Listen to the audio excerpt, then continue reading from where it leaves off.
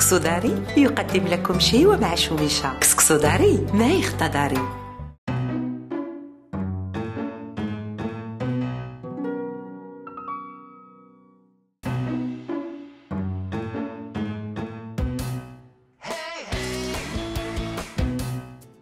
اليوم غادي تكون عبارة عن مثلجة بسيطة غادي نديروها بالجبن الطري.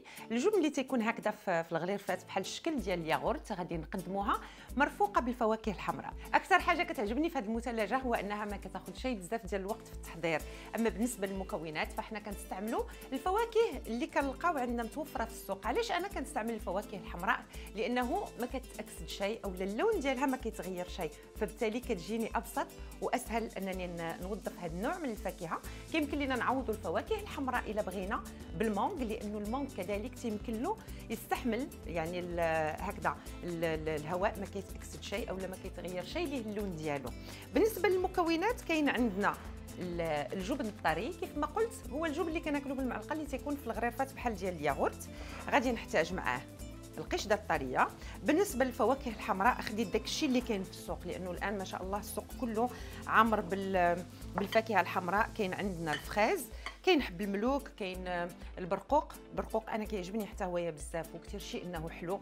كاين ال framboises وكاين كذلك آه، les myrtilles. فأنتم ما أنتم ماشي مجبرين إنكم ديروا هذه التشكيلة كاملة. كانت مت- متوفرة.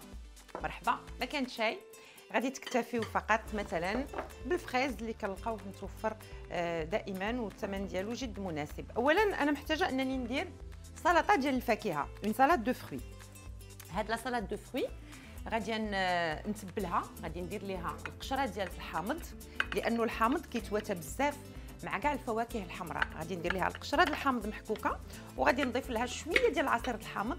وشوية ديال السكر باش يلا كتطلق داك الماء الطبيعي ديالها وكتعطيني اللون الحمر اللي فيها اللي غادي يزين ليا المثلجة.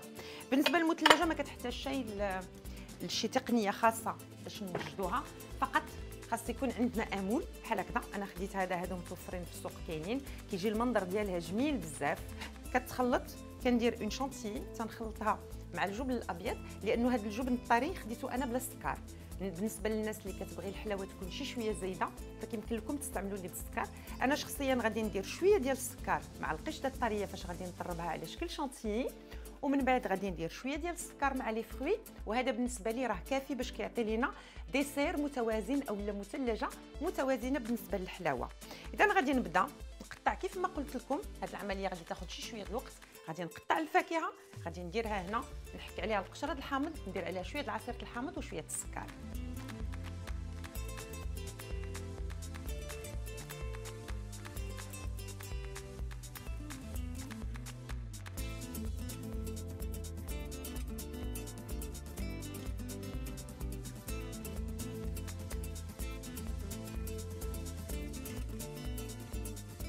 قطعت les fraises زدت عليهم آه، حب الملوك آه، زدت عليهم les framboises. كيف ما قلت لكم كديروا الفواكه بحسب الرغبة ديالكم.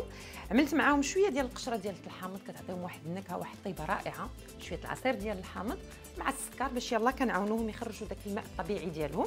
غادي نخليهم يرتاحوا هكا على جنب وغادي نصيب la chantilly أو لا القشدة الطرية اللي كتكون باردة. كناخذوها تنخفقوها مع شوية ديال السكر الناعم أو لا السكر كلاص كتخفق تتولي عندنا كريمة مخفوقة كنوليو نضيفوها على الجبن الطري. نقربوا عندنا السكر. هنايا كنستعملوا السكر كلاص صافي وكنبداو نخفقوا فيها.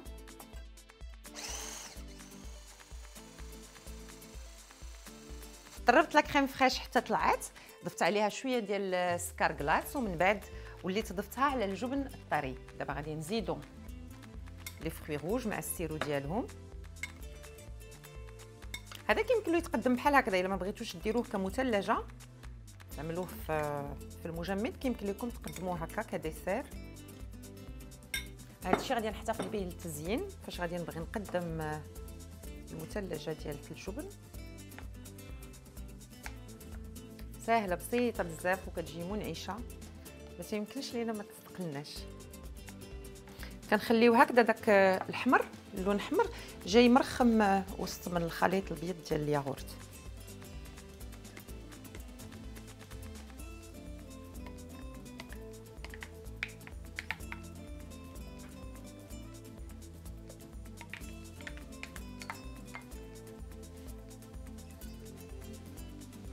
كيمكن لينا تماما نوضفو اولا يعني نستعملو لي مول اللي هما يا فرديين ديال السيليكون اولا كنديرو واحد بحال هذا. نضربوه مزيان هكذا. غادي ناخذ قطعة ديال البلاستيك الغذائي غادي نلصقها على الوجه ديال المثلجة غادي ندخلها للمجمد نخليها حتى كتجمد وتقصح وتنخرجها باش نقدمها ونزينها.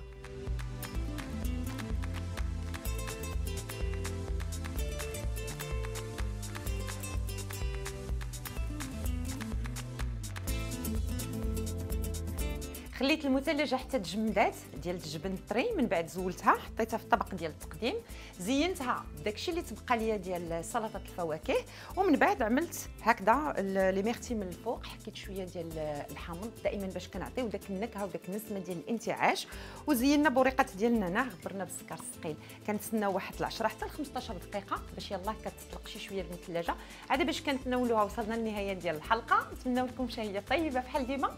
ونتلاقاو مع وصفات جديدة وحلقة أخرى. إلى اللقاء.